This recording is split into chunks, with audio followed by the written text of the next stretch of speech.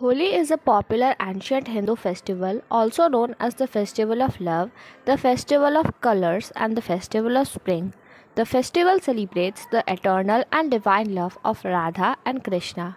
It also signifies the triumph of good over evil. The festival also celebrates the beginning of a good spring harvest season. It lasts for a night and a day. Starting on the evening of the Purnima, falling on the Hindu calendar month of Falguna, which falls around the middle of March in the Gregorian calendar.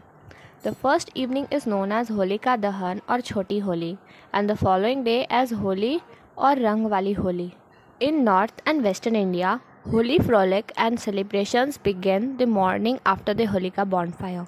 Children and young people form groups armed with dry colors, colored solution, and water guns water balloons filled with colored water and other creative means to color the targets.